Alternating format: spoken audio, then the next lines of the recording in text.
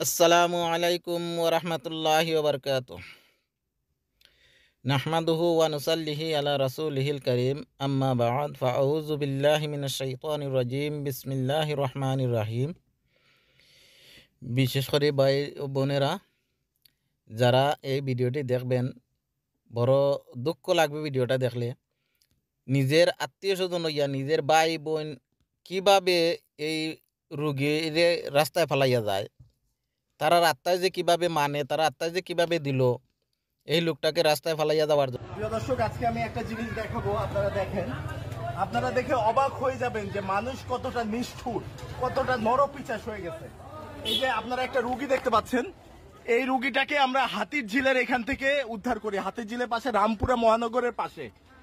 আমরা ফেসবুকে শুনেছি, আমাদের ইনবক্সে আমাদের কিছু ভাই বলেছে, এই লোকটা ওইখানে থাকে এবং তার পরিবারে তার মামা, তার বোন, তার ওয়াইফ হয়তো তার সন্তানেরাও আছে। কিন্তু এই লোকটা অসুস্থ দেখে তাকে ফেলে দিয়ে চলে গেছে। পশু জানোয়ারের খাইছিল। পশু জানোয়ার তো আজ তো আমি দেখি নাই যে একটা পশু যে ফালাইয়া যায় কি। একটা পশুরে যদি দেখো অ্যাক্সিডেন্টে অনেক পশু দেখছি যে হাত পাও ভাঙ্গি গেছে কি। তখনও সাথের কোনো পশু ফালাইয়া যাইতে হয় না। সেমনি যে এটারে নিব, সেমনি এটার ফাঁসে থাকব তারা অনেক দুঃখ প্রকাশ করে। মুখ দিয়ে বলতে না পারলেও বোঝা যায় যে তারা যে কতটুকু দুঃখ প্রকাশ করে, তার লোকের ভাই দুঃখ কষ্টের মাঝে পড়ছে। কিন্তু মানুষ হইয়া, মানুষরে ফালাইয়া রাস্তায় যায় কি? এটা কোন ধরনের মানুষ? এই ঘটনাটা হাতির জিল রামপুরা ঘটনাটা ঘটছে। আপনারা দেখবেন, এই ভিডিওটা আমি দিয়া দিমা, এই ভিডিওর সাথে। আপনারা দেখবেন যে ঘটনাটা কীভাবে ঘটছে, এটা সত্য মিথ্যা যাচাই করতে পারবেন।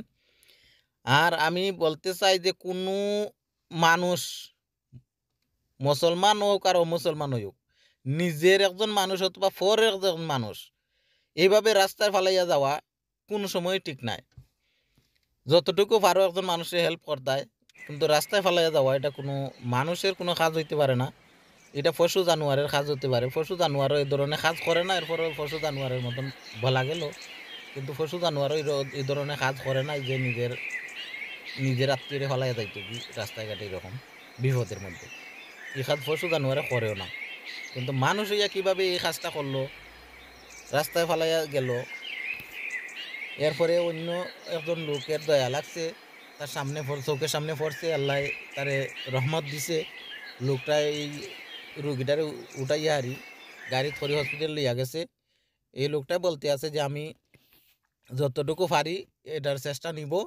যতটুকু ডাক্তারি লাগে, যতটুকু চিকিৎসা করার দরকার লাগে, আমি এটার ভাষায় আছি, আমি দেখে নিব। আর এই লোকটাই আবার বলতে আছে যে, এটার আত্মীয় স্বজন কে আছে, এরার উপর আমি মামলা দিব, এরার সঠিক বিচার করা উচিত, এরার উপর মামলা দেওয়া হবে। এই লোকটাই বলতে আছে যে, আমি নিজে মামলা দিব, এই যা আত্মীয় স্বজন যা আছে তার, আমি সবার উপরে মামলা দিব উচিত বিচারও দরকার, মামলা দেওয়াটাও দরকার। আর এই লোকটা যখন ফাঁসে দাঁড়াইছে, এই লোকটা চিকিৎসা করাবে। আল্লাহ জি লোকটার হায়াত দেয়, যাতে সুস্থ হয়, আল্লাহ হায়াত দান করে। আমরা দোয়া কামনা করছি, যাতে আল্লাহ সুস্থ করে দেয় লোকটারে। আর যাতে কোনো মানুষ এই ধরনের কোনো মানুষ ফালাইয়া যায় না, আল্লাহ হেফাজত করুক। একজন মানুষ কষ্টের মধ্যে পড়ছে, অসুস্থর মধ্যে পড়ছে, কত দুঃখ কষ্ট আছে, এর মাঝে যদি একজন নিজের আত্মীয় ফালাইয়া যায়, তার যে কত মন দুঃখ নিজে ছেলে, স্থানীয় ছেলে উনি আসছে, আমি আর আমার ওয়াইফ ছিলাম। আমরা ওনার চিকিৎসার ব্যবস্থা নিব। উনি এখন পর্যন্ত বেঁচে আছে।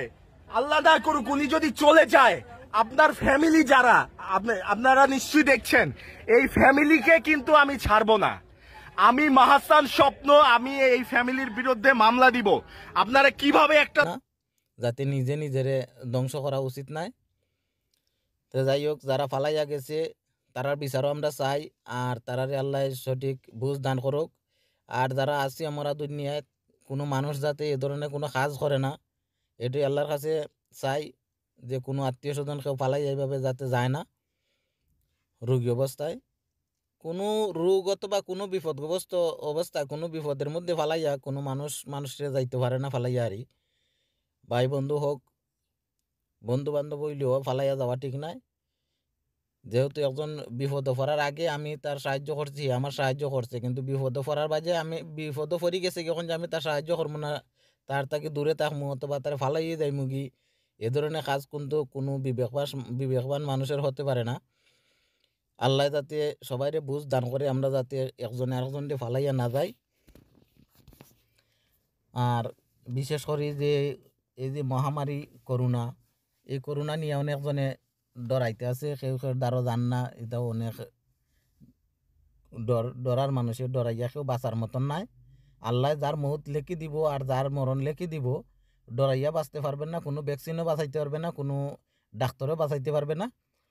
আর ভ্যাকসিন দিয়া যদি মনে করো যে আমি ভ্যাকসিন দিলাইছি আর ই- রোগ আইতো না সেকেন্ডের ভিতরে আল্লাহ অন্য রোগ দি লক্ষ লক্ষ মানুষ নিতে পারব সেকেন্ডের ভিতরে।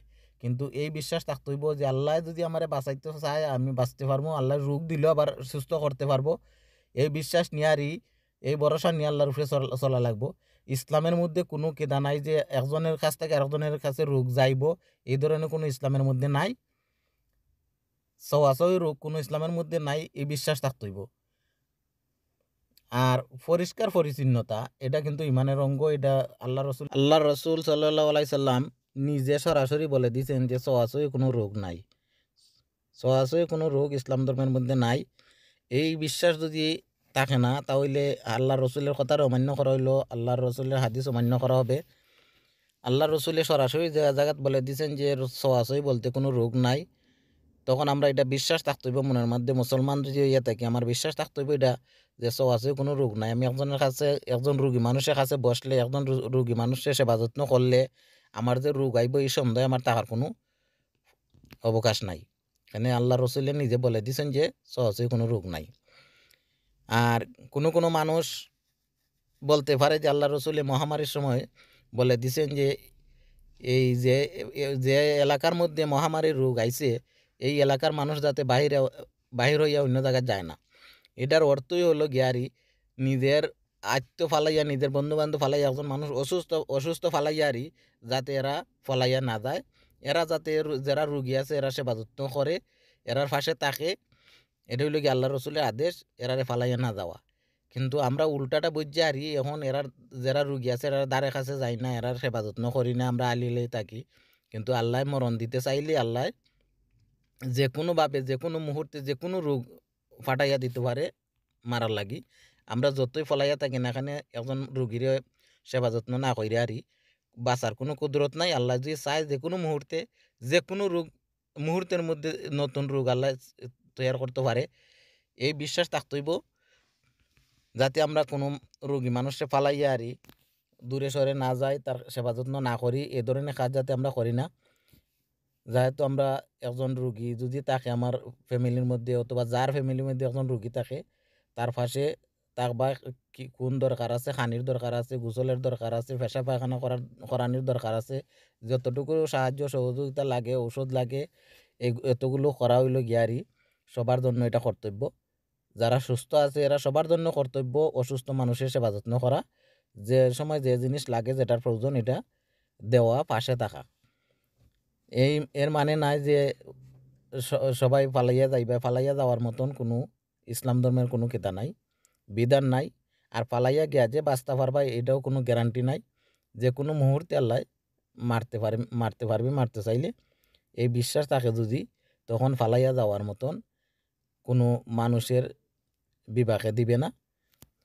বিশ্বাস যেহেতু থাকে আল্লাহর উপরে, আর আল্লাহ রসুলের কথার উপরে যদি ইমান থাকে, তখন কোনো মানুষ নিজের আত্মীয়রে ফালাইয়া কোনো অসুস্থ মানুষ ফালাইয়া কোনো জায়গায় যাইতে পারে না। এটা কোনো মমিনের কাজ নয়। আর যতগুলা আইন কানুন করা হয়েছে না কেন, এগুলা শুধু ডাক্তারি ফর্মুলা ডাক্তারের ফর্মুলা কিন্তু ইসলাম ধর্মের বাহিরে যদি ডাক্তারের ফর্মুলা হয়, এটা মানা কিন্তু ঠিক না। কিন্তু আল্লাহর রসুলে যে জায়গাত ফর্মুলা দিয়েছেন এই ফর্মুলা বাদ দিয়া যদি ডাক্তারি কোনো ফর্মুলা মানা হয়, এটা হইল গিয়ারি ইমানের ঘাটতি, এটা হইল ইমানের ইমানের নষ্ট হওয়ার একটা পদ্ধতি, ইমান নষ্ট হওয়ার কারণ এই একটা কারণ হইলে ইমান নষ্ট হওয়ার।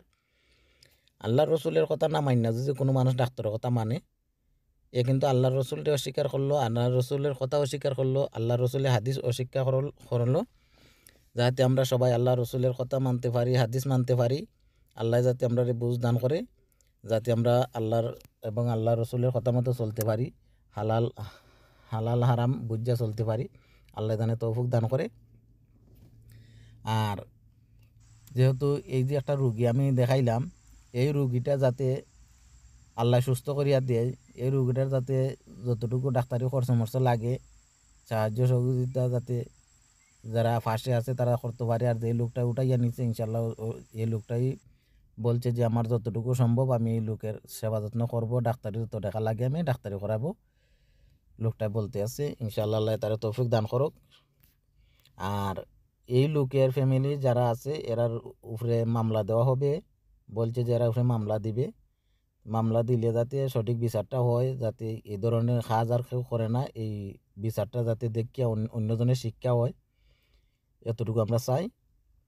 আর যাতে আমরা নমাজ, রোজা সবসময় আমরা এগুলা পালন করতে পারি, যাতে আমরা এই নমাজ, রোজা থেকে দূরে না, সরে না যাই, এটি আমরা সবার জন্য কামনা। আল্লাহর এবং আল্লাহ রসুলের কথা মান্য যাতে আমরা চলতে পারি।